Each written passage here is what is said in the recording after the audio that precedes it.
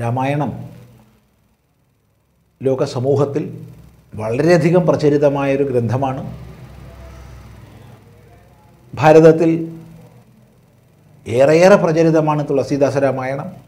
കേരളത്തെ സംബന്ധിച്ച് നമ്മൾ തുഞ്ചത്ത് ആചാര്യന്റെ അധ്യാത്മ അധ്യാത്മരാമായണം കിളിപ്പാട്ടാണ് ഏറെ പഠിക്കുന്നത്. വിശേഷിച്ചും കർക്കിടക മാസത്തിൽ ഈ രാമായണം വായിക്കുക എന്നുള്ളത് നൂറ്റാണ്ടുകളായുള്ള നമ്മുടെ ഒരു ചര്യയാണ്. അതിൽ ഇടക്കാലത്ത് കുറേ ലോപങ്ങൾ സംഭവിച്ചിരുന്നു. പക്ഷെ വീണ്ടും വളരെ പ്രചരിതമായി. വിശേഷമായി പറഞ്ഞാൽ ആയിരത്തി തൊള്ളായിരത്തി എൺപതുകളുടെ ആദ്യത്തിൽ എറണാകുളത്ത് വെച്ച് നടന്ന വിശാല ഹിന്ദു സമ്മേളനത്തിന്റെ അനേക തീരുമാനങ്ങളിൽ ഒന്നായിരുന്നു. കർക്കടക മാസം രാമായണ മാസമായിട്ട് നമ്മൾ പ്രചരിപ്പിക്കണമെന്നുള്ളത്. പൂർവികമായി ഉണ്ടായിരുന്ന രാമായണ പാരായണത്തെ പ്രോത്സാഹിപ്പിക്കണം എന്നുള്ളത് ഏതായാലും അതിനുശേഷം വളരെ വ്യാപകമായി കേരളത്തിൽ രാമായണ മാസം സമാചരിക്കപ്പെടുകയാണ്.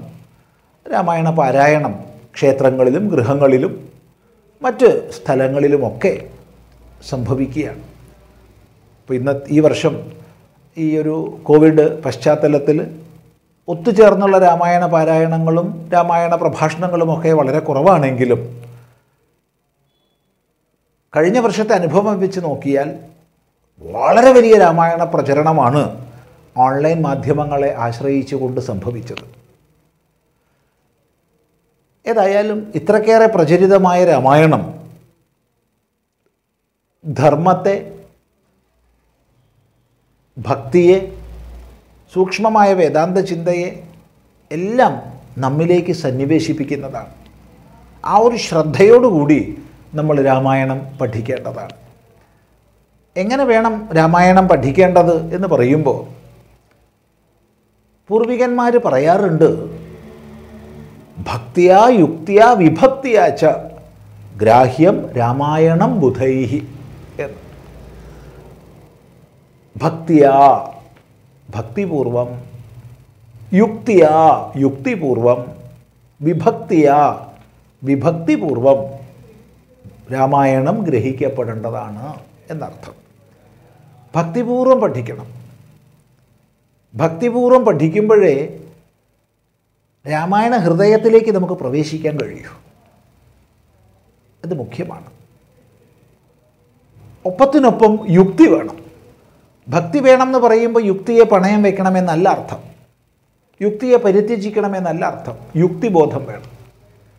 യുക്തിബോധമില്ലെങ്കിൽ രാമായണത്തിന്റെ ആന്തരിക അർത്ഥങ്ങളിലേക്ക് നമുക്ക് പ്രവേശിക്കാൻ കഴിയില്ല. ചെറിയൊരു ഉദാഹരണം പറയാം. വിശ്വാമിത്രൻ യാഗരക്ഷയ്ക്ക് വേണ്ടി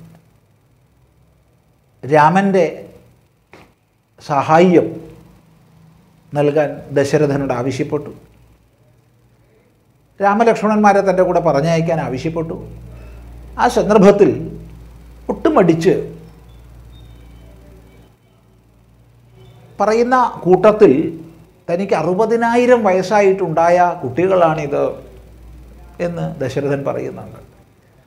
എന്ന് മാത്രമല്ല അതിനു മുമ്പ് അനപത്യ ദുഃഖം കൊണ്ട് വളരെയധികം ക്ലേശിക്കുന്ന ദശരഥൻ അറുപതിനായിരം വയസ്സായിട്ടും തനിക്ക് മക്കളില്ല എന്ന് പറയുന്ന ഭാഗമുണ്ട്. അതുപോലെ രാവണ നിഗ്രഹമെല്ലാം ചെയ്ത് രാമൻ അയോധ്യയിലേക്ക് തിരികെ വന്നു. രാജാവായിട്ട് അഭിഷേകം ചെയ്യപ്പെട്ടു. രാമരാജ്യത്തെക്കുറിച്ച് പറയുന്ന സന്ദർഭത്തിൽ പതിനൊന്നായിരം കൊല്ലം രാമൻ രാജ്യം ഭരിച്ചു എന്ന് വർണിച്ചിട്ടുണ്ട്.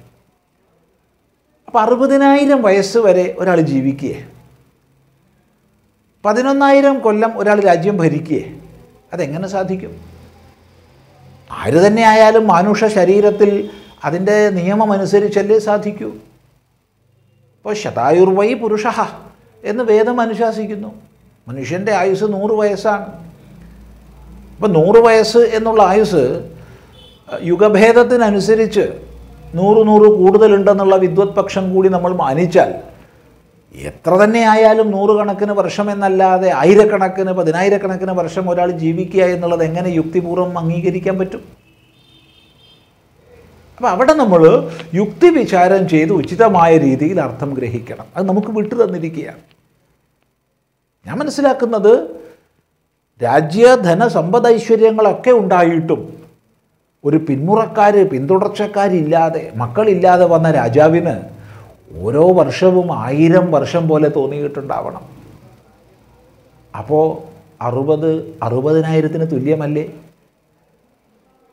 വളരെ ശ്രേഷ്ഠനായ ഒരു ഭരണാധികാരി എന്ന രീതിയിൽ ഒരായിരം വർഷം കൊണ്ട് രാജ്യത്തിനുണ്ടാകേണ്ടുന്ന പുരോഗതി ഒരു വർഷത്തെ ഭരണം കൊണ്ട് രാമൻ ഉണ്ടാക്കിയെടുത്താൽ പതിനൊന്നായിരം വർഷം എന്ന് പറഞ്ഞുകൂടെ പതിനൊന്ന് വർഷത്തെ? ഇങ്ങനെ യുക്തിപൂർവം നമ്മൾ ചിന്തിച്ച് എഴുതിയതിനപ്പുറത്തേക്ക് പോയി മനസ്സിലാക്കാൻ ശ്രമിക്കണം. അല്ലെങ്കിൽ ശാസ്ത്രവിരുദ്ധത വരും. അതുപോലെ തന്നെ മുഖ്യമാണ് വിഭക്തി എന്നുള്ളത്. വിഭക്തി എന്നുള്ളതിലൂടെ ഭാഷാജ്ഞാനമാണ് ഉദ്ദേശിച്ചുള്ളത് ഭാഷാജ്ഞാനം. ഏതൊരു ഭാഷയിൽ രചിക്കപ്പെട്ട ഗ്രന്ഥമായാലും ആ ഭാഷയെക്കുറിച്ചുള്ള ശരിയായ അറിവുണ്ടെങ്കിലേ സൂക്ഷ്മാർത്ഥങ്ങളിലേക്ക് എത്തിച്ചേരാൻ കഴിയൂ. ഇപ്പോൾ രാമായണത്തെ സംബന്ധിച്ച് സംസ്കൃതത്തിലുള്ള സൂക്ഷ്മാർത്ഥമുണ്ടെങ്കിൽ മാത്രമേ സൂക്ഷ്മാർത്ഥജ്ഞാനമുണ്ടെങ്കിൽ മാത്രമേ രാമായണത്തിന്റെ ഹൃദയം വേണ്ട വിധത്തിൽ നമുക്ക് മനസ്സിലാക്കാൻ സാധിക്കൂ. അതുകൊണ്ട് ഭക്തി യുക്തി വിഭക്തി എന്നിവയെ ആശ്രയിച്ചുകൊണ്ട് രാമായണം പഠിക്കുക എന്ന് മാത്രം ഈ സന്ദർഭത്തിൽ പറയട്ടെ. സമാനമായ റിപ്പോർട്ടുകൾക്കും അവലോകനങ്ങൾക്കും അഭിമുഖങ്ങൾക്കുമായി ചാനൽ സബ്സ്ക്രൈബ് ചെയ്യുക ബെൽ ബട്ടൺ അമർത്തി ഓൾ സെലക്ട് ചെയ്യുക.